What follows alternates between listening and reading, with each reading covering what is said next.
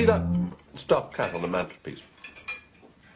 That's Fluffy, our pet cat. We loved him so much, we had him stuffed. Six months later, he died. Take no notice of him, Conrad. Berenice gave him a Russ Abbott joke book for Christmas ten years ago, and we've been suffering ever since. I must say it's nice to see some new faces at the dinner table. Oh, yeah. So, Conrad, what do you do? Sorry, how do you mean? Well, are you doing the same course as Berenice? Do you know what I think would be a very nice idea? Well, Bobby Doe is appearing in Panto at the Lowestoft Ritzy. So, what say we have a family outing? You know, as it's Christmas. Oh, I- I- I've never been to see a panto at the Lowestoft Ritzy. Oh, And if everything goes according to plan, I never will. well, what do the young uns think? Uh, yeah, yeah, why not? I can think of several reasons.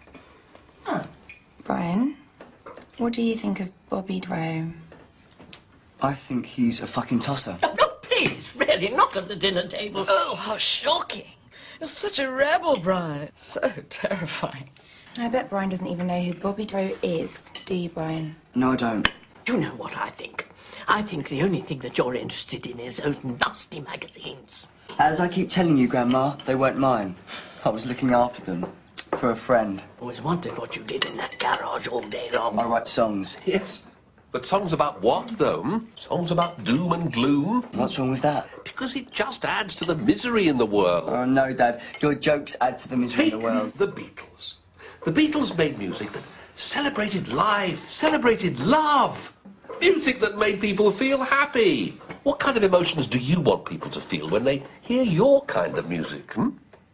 Anger and resentment. Why would anyone want to listen to music that makes them feel angry and resentful? I I don't know, Mother. I mean, you know, why do you behave in a way that makes people feel angry and resentful? I'm Just gonna go to the. Um, it's upstairs on the left hand Seen it all before, darling. The teenage rebel act.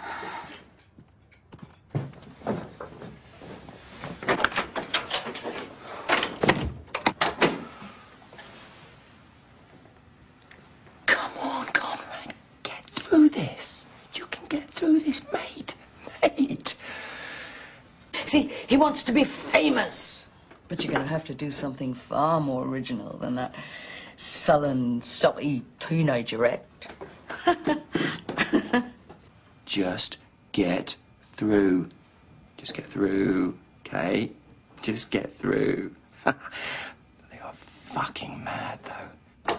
Ah. I don't see the blue vein Stilton on the cheese board. Probably because it's not there. You didn't get it, did you? Maybe I didn't. But you said you did. What, what? Perhaps I picked up a piece of dolcelatte instead. But I specifically asked for blue vein Stilton. No, what's the difference? It's cheese, it's got blue in it. Have the bloody dolcelatte. I don't want your bloody dolcelatte. I want the blue vein Stilton. Please, Mum, don't get yourself so upset. It's Alan's favourite cheese. That's that's why I'm so upset. Well, he's not going to have any now, is he? Badge! Please. You see, she doesn't even care. Now that's what I can't stand about. She's poison. You're a poisonous woman. Oh, really? I Haven't even started. Oh, all right. Look, it's all right. Um, Gran, well, me, Brian, and Conrad, we're going shopping tomorrow, so we'll we'll pick up your blue vein Stilton for you. Oh, thank you, Berenice. You are a kind girl. Anyway, Alan didn't used to like Blue Vein Stilton that much. He just used to like saying Blue Vein Stilton. What's she talking about? Yeah, he knows. He knows exactly what I'm talking about. I'm sorry to disappoint you, dear. Are you sorry to disappoint? Because it's all you've ever done is disappoint.